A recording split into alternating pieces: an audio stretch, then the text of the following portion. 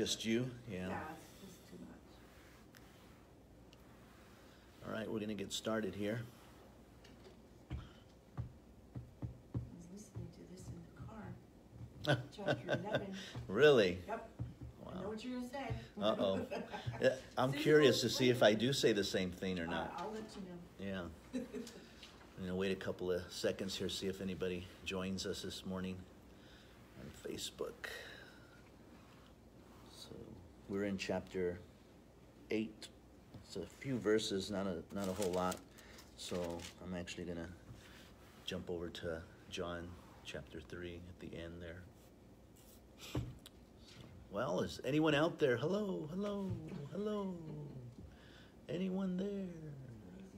Have, I don't know if you guys have seen the pictures and videos of the uh, rescue mission for those, what, 14, 18 kids? Pretty amazing tunnel. Wow. And somebody was saying, now, when I was reading the article, they're saying that it was filled with some water, that it had rained or something like that. But this one post said that they were praying that it doesn't rain because it rains quite often, that it didn't rain while they were rescuing them. And as soon as they got them all out, it rained because that tunnel gets filled. So they had tanks, oxygen tanks, and so forth. They still had to use them because there were some areas that were mm. underwater. But that was pretty amazing. Well, okay. Good morning. Welcome to Calvary Chapel Inland. Hopefully, you'll join us as we just continue on. I'm Pastor Ruben. Thank you for joining us today. We stream live on Facebook Monday, Wednesdays, and Fridays. If you're in the neighborhood, you'd like to join us, we'd love to have you here at 5383 Martin Street in Jurupa Valley. Today, we are in the book of Revelation, and we are in chapter 8, looking at the seventh and final seal, but it will bring about. Uh, let me see, seven trumpets of God against uh, the earth. So we're dealing with a lot of judgment right now. There you are. There's a few of you. Thank you for joining us, guys. Let's go ahead and pray. We're in Revelation chapter 8, if you want to grab your Bibles. Heavenly Father, we just pray for your Holy Spirit to be our teacher. Pray that you would just teach us one thing today, Lord. If not two or three is wonderful, but just one thing today that we can take away from this and, just um, be encouraged, be strengthened, um, find peace in our life, and know that our God has loves us, cares for us, He has a future and a plan for us, and that everything is going to be okay because we're in Christ Jesus, and He has provided uh, salvation and safety for His children. And so, Lord, minister as we read your word in Jesus' name. Amen. Good morning, all the way from Walnut. And anyone else there? Please, uh, if I can encourage you to share this. We seem to be getting more views on, on my post or live streams and church, so just continue to, to share, and hopefully God will, will use His word um, in a mightily way. Good morning, Willie. Glad you could join us. Missed you. All right, we're, we're in Revelation chapter 8. As I said, chapter 7 was kind of a, a little intermission uh, from the wrath of God that's coming upon the earth, these seals, seven of them, which were judgments coming on the earth. And so from this point on, chapter 6 to 11, we're seeing judgments coming upon the earth during the tribulation period, not during. Uh, not during the time that the church is still here. So let me just say this again, and I think I said it earlier on when we start Revelation. Remember, when someone begins to say or write a book and say that we're in the times of the Armageddon or the ends here or Antichrist is here or Trump is Antichrist or Obama's Antichrist or Bush is Antichrist, and every year our president's Antichrist or, or one of the other nation leaders, Putin's Antichrist. Remember when Gorbachev was Antichrist? You know, they are type, they could be types of Antichrist, but they're not the Antichrist. That is going to happen during the tribulation period. So don't believe those guys. They're just trying to sell books and they're trying to make money off of the fear of people.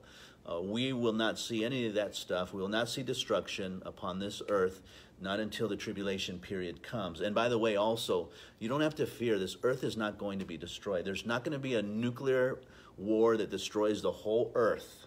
Is there a possibility that maybe just a part of the earth? Yeah, that's possible. That, that maybe the nuclear war, just like Japan, something like that, that, that happened back then. That's possible, but to destroy the whole earth, that's not going to happen because God has a different plan. So, we are looking at the judgments that are coming upon the earth during the tribulation period. And then we had this little intermission in chapter 7, and we saw what God was doing in heaven by the martyrs, first sealing the, the Jewish people, and then uh, the martyrs who were serving him on earth, uh, entering into heaven, getting white robes, and then continuing to serve. so let's go ahead and start with chapter 8, looking at the last and final seventh seal. When he opened the seventh seal, there was silence in heaven for about a half an hour. Now, that's interesting. You might say, well, why was there silence? Uh, for a whole half an hour, everyone just kind of was quiet. Uh, one of those times when they say, could we just have a, a prayer of silence here? And everyone just is silent. And they do that because they don't want to offend anyone, right? Of their various religions and so forth. So let's just all agree to be silent and pray the way that you, you want to pray. And that's fine. Here we see a whole half an hour. Now, that would be my whole study time this morning. A whole half an hour of just sitting here and looking at each other and just waiting and waiting. I believe that's what it's signifying. It's awaiting and anticipating uh, the severity of it that's coming upon the earth. It's kind of like building up and building up, and then also when that half an hour comes, it's going to just come down upon the earth. Now remember, these are seals of judgment, trumpets of judgments that are coming upon the earth. They're all judgment calls. How those judgments look and, and how they're described by John, you know, uh, is very unique, but we really don't know the actual details of them all. So we'll see that in a second here. So a half an hour of silence. And I saw the seventh angel who stood uh, before God, and to them were given seven trumpets.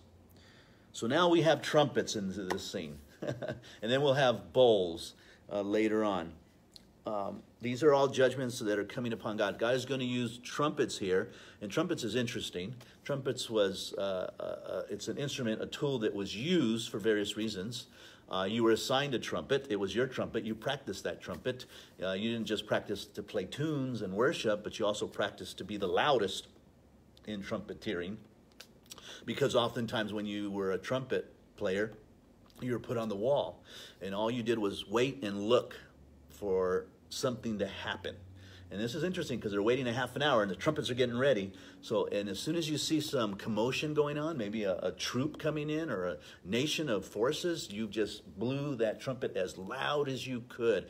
And then, of course, all the other trumpeters would blow too. And that would warn the children of Israel whoa, we need to close everything up. We need to prepare for battle because the enemy is coming. Um, the trumpets were also used uh, to lead the people. So if it's time to, to stop, then the trumpets would sound a certain tune and everyone stopped. If time to go and keep moving out, and then children of Israel would move out once the trumpet sounds. So they were used for various reasons of direction and guidance and so forth. In this case, they're used for judgment, that judgment was coming, and seven trumpet sounds are going to be taking place here. So this angel, we don't know who he is, has a trumpet. And another angel, having a golden censer, came and stood at the altar and he was given much incense, and he should offer it with the prayers of all the saints upon the golden altar which was before the throne. And the smoke of the incense with the prayers of the saints ascended before God from the angel's hands. Then the angel took the censer, filled it with fire from the altar, and threw it to the earth. And there were noises, thundering, and lightning, and earthquake. It's kind of like the the, the, drum is playing and getting up and gearing up and thunders and lightning, just like this morning when we woke up. Some of you may have heard the thunder and lightning in the in the atmosphere. Um, I was up about 4:30 and my window just glue, glowed, and then not glued, glowed, and then I counted, and about nine seconds later, the thunder, and it was pretty loud. So that must have been a big one wherever it was at. Uh, that's what it's going to be like, and then the trumpets will begin to, to sound. Now, what are the censers and the prayers? These are the prayers of the saints that are ascending. The censers suggesting smoke. Uh, you having a barbecue, the smoke ascends, and so God's uh, signifying that the prayers of the saints are ascending to heaven so that he hears uh, the cries of his people. So, let's look at uh, these trumpet sounds, and they are from 8 to chapter 11 chapter 10, I believe, we'll have another little intermission, and then we'll finish up in 11, the trumpet sounds. Verse 6 So the seven angels who had the seven trumpets prepare themselves to sound. The first angel sounded, and hail and fire followed, mingled with blood, and they were thrown into the earth, and a third of the trees were burned up, and all the green grass was burned up. So the first trumpet, apparently very clear, they know what hail is. Hail mingled with blood began to fall upon the earth. Now you'll hear commentators say that these were pretty good sized hailstorms, maybe the size of baseballs, softballs. Some would even suggest bowling balls, you know, that big, mingled with blood, coming down upon the earth and just causing havoc. Again, this is God's wrath coming on the earth. This isn't nature. It's not Mother Nature.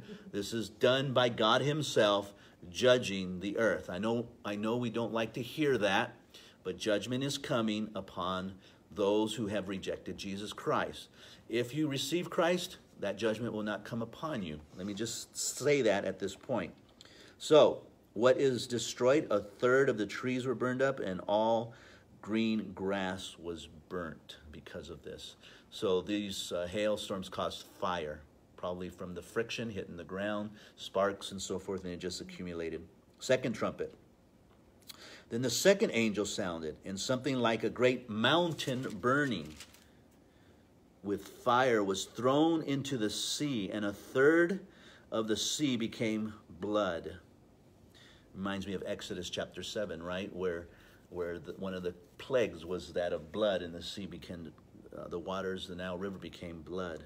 And a third of the living creatures in the sea died, and a third of the ships were destroyed. So ships were destroyed that were all in the ocean seas from every tribe and nation and group. Uh, but along with that was all the sea creatures, uh, up to a third of them were completely done. What was this mountain? He's describing something huge coming down, hitting the ocean waters, just boom, if you can imagine the waves, the tsunamis, and all these things that are taking place. And those tsunamis just destroying the ships. You've seen videos of, of flooding and tsunamis in other places, and cars just being lifted up and moving over bridges and things, and houses collapsing. It's pretty amazing. Boats just flipping over, going under bridges and crunching until they're sunk, you know, and you can imagine battleships and so forth, tsunamis being twisted and turned all over. What was this mountain? We don't know. It could be a meteor. Uh, it could be a meteor. Um, and he could be describing it in, in two different ways here because he says something great like a mountain. I'm sorry, like a great mountain. So it's like a great mountain. He, Whatever it is that he's describing, he's never seen it before, but he's saying, I know what a mountain looks like. So it's kind of like a mountain, a big rock just coming down upon the earth. But look at verse 10. Then the third angel sounded, and a great star fell from heaven, burning like a torch, and it fell on a third of the rivers and on the springs of water. And the name of the star was Wormwood. And a third of the waters became wormwood, and many men died from the water because it was made bitter. So they drank the water, or they knew that they needed water, and they were so desperate that they began to drink it anyway, though it was bitter, and they ended up dying. So we see here now a great star. And notice that he doesn't say uh, like, but he does say burning like a torch. I would think that John would know what a star looked like. They might not have called it stars. I'm not sure what the Greek word is there, but I'd have to look it up. But you look up in the sky and there's light in the, at night, and you see these little lights, you know, so we call them stars. And there are, we don't know how many there are. Back in the early days, scientists, oh, we know that there's, you know, a million stars. And then they realize, no, there's 10 millions. Now there, no, there's billions. And now there's more than billions. And they just keep going and going and going. So it could be that John saw one of those little stars just begin to fall and come and hit the earth. The waters and so forth became bitter. So not necessarily a meteor, but a star itself coming upon the earth. How does something like that happen? You have to think about that. How does something like that happen? You know, what kind of force outside of us can do something like that? If you do read the Bible, the Bible is clear that God is outside of all of this, right? Someone had, had likened Earth to a television. Okay, if Earth was a television and everything that existed in Earth and the atmosphere and heavens and so forth, uh, that is Earth and, and, and, and the um, universe. And then you, a repairman comes along and he's outside of the TV and he can work on all of that. So that's God. You have the whole universe, and God's outside. The Bible says He has it all in the span of His hand. Not that God's that huge, it's just saying that God is in total control of all those things. So if it's God, then He can just, who says He's numbered the stars, who knows, and names them, and He can just touch one star and have it come down as part of His judgment. Remember, as, as a person that is bringing judgment, you have the ability to send in tanks. You have the ability to call the planes and send them in. You have the ability to push the button and send a missile. You have the ability to send a million men into there. They're all in your command. So if God is a creator of nature itself, then they're all in his command. And he has the ability to just say, stars, come down. Like mountain meteors, come down, you know, and destroy the, a third of the waters. So God is in total control of this judgment that's coming on the earth. Wormwood means bitter bitter there.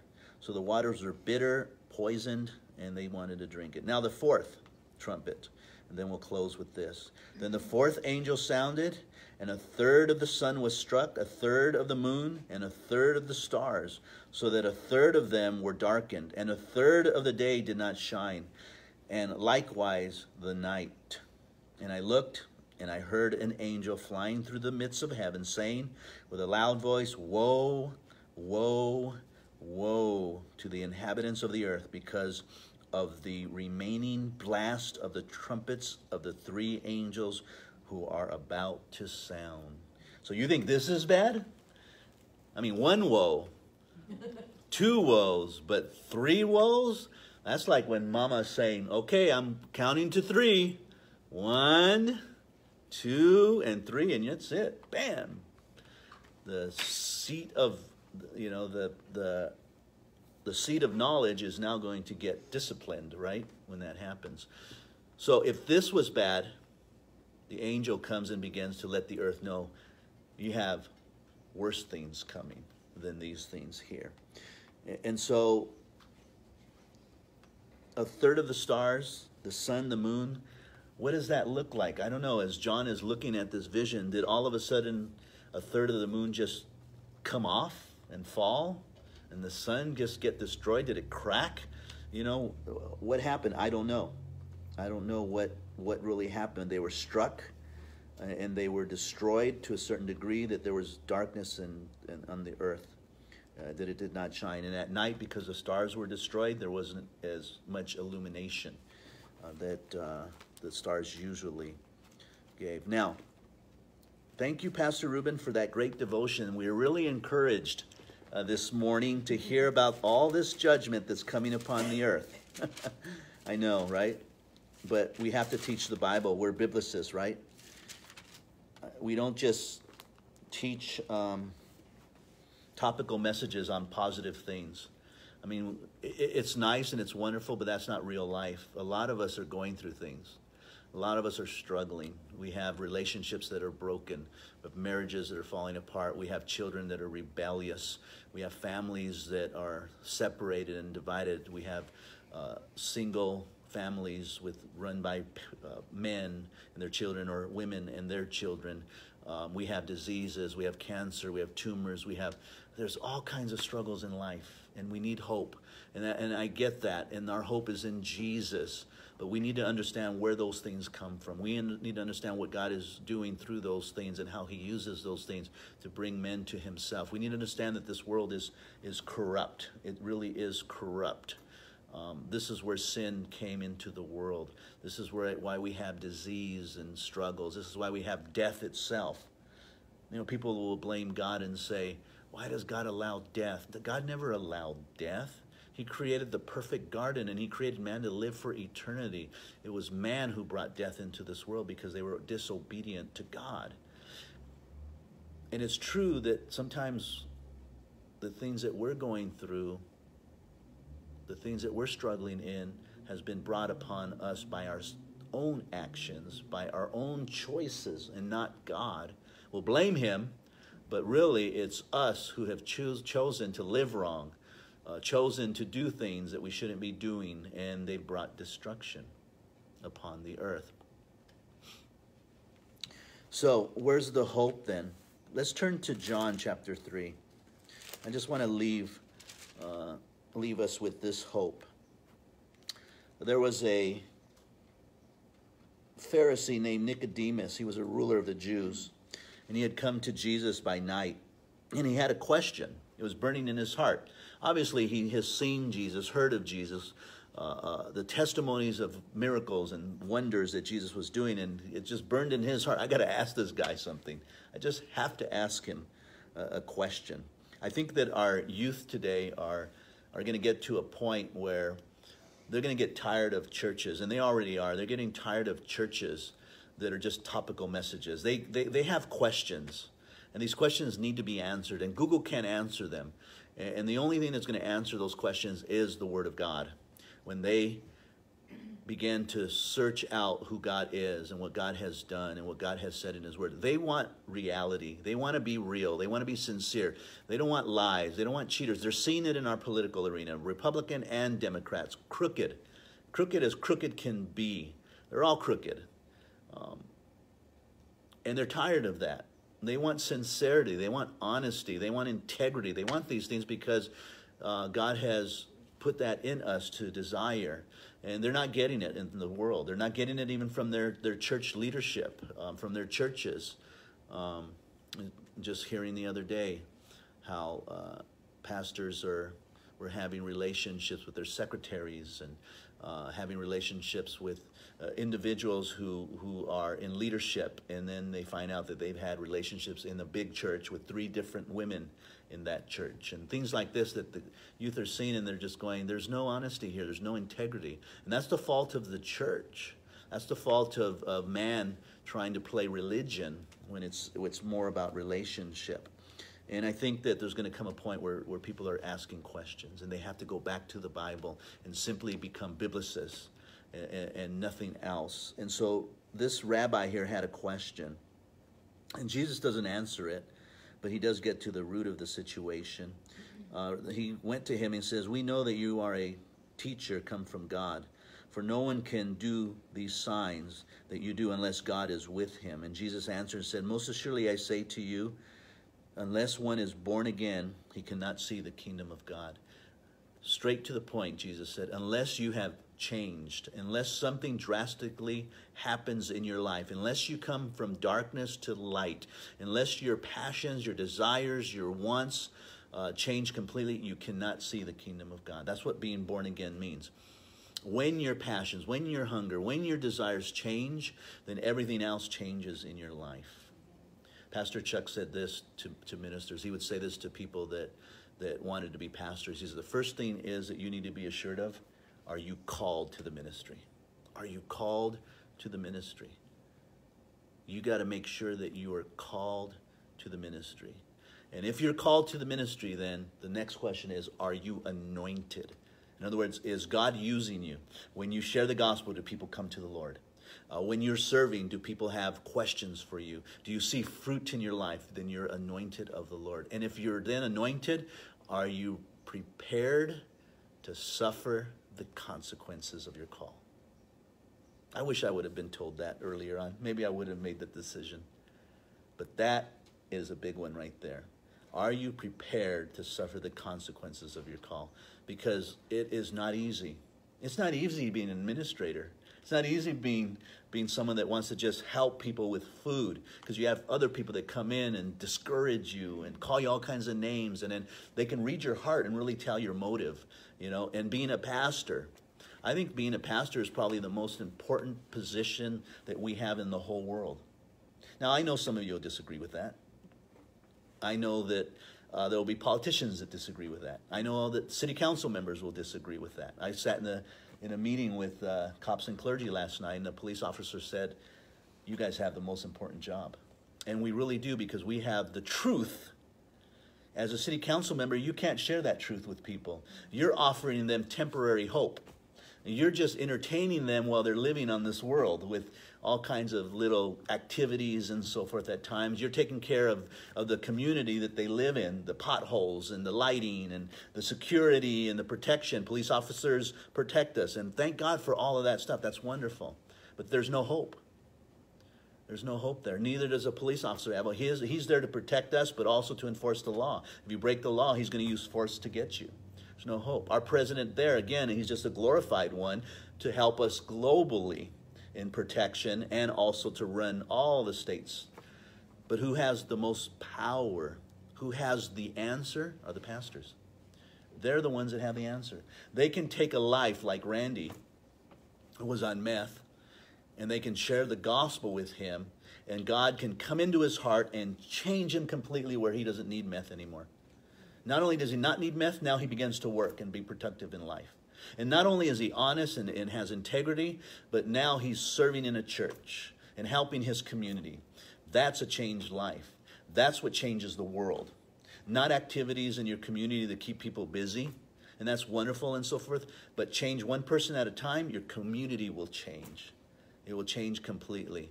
I really do believe that, that pastors have the most important job in the world. And unfortunately, um, the devil knows that, and he has taken away that authority and power. There was a time in the early 1900s where pastors were known for that. They were very esteemed highly. Not that they wanted that or a pat on the back, that's not the point. Billy Graham used to pray at all the presidential things. They don't do that anymore. So they've dumbed that down, and once they dumb that down, our society is going to begin to dumb down also. Who needs a pastor to tell them uh, and interpret the scriptures for them when they got Google? Let's just go to Google and ask him. Unfortunately, Google will tell you what the Google writers want you to know. That's the bad part, and that's where you get misled.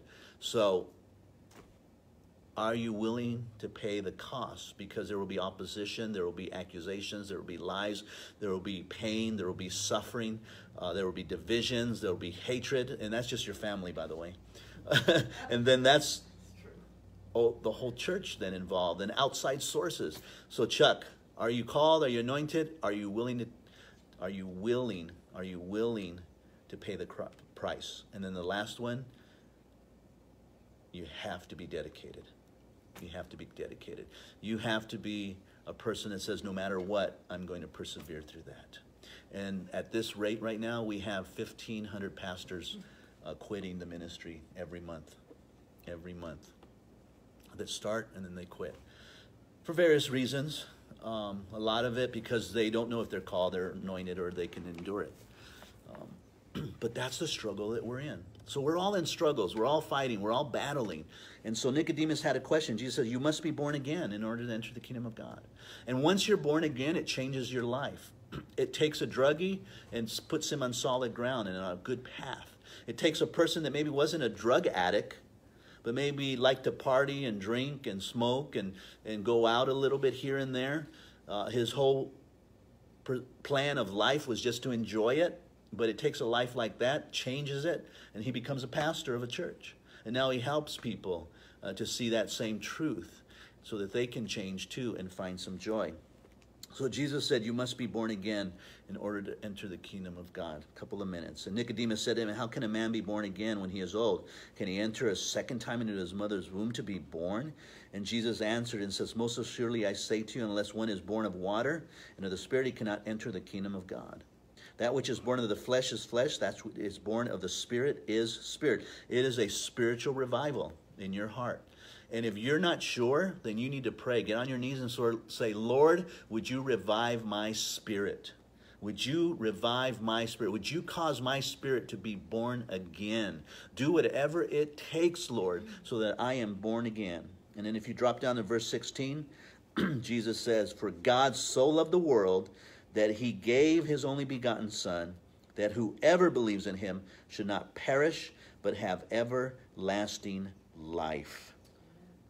That's how much God loves the world. He took the most important thing in his life and he committed it totally, totally to us because he loved us. He wanted us to be assured and to know for sure that he loved us so much that he would give his only son. Now, if it was an angel, it's like, okay, yeah, well, I, I okay, but his son and his only son, we have a picture of that in Abraham. So here's the hope that Jesus has given to us. If we just believe in his son and the work that he's done for us, we will not suffer the tribulation period. We'll not go through the wrath of God that's coming upon the world that has rejected him. So there's the hope. And how do I get saved? By simply asking, like I said, Holy Spirit, come into my life and help me to be born again. Rebirth my spirit. Give me eternal life. I surrender my life to you in Jesus' name. That's how you enter the kingdom of God. And then you take this grid of truth and you start reading it and you believe every word that's in here because it's true. Man shall not live bread alone, but by every word that comes out of the mouth of God, and it's all right here for us to live by. So I hope that uh, you're encouraged by the end of the message, that you're encouraged that, yeah, God is going to bring judgment on the wicked. Uh, there are a lot of people who have done wicked things, and God will judge them. There are a lot of people who have not done wicked things but rejected Jesus Christ, and they will too be judged. And that's sad because it's just so simple to give your life to Jesus.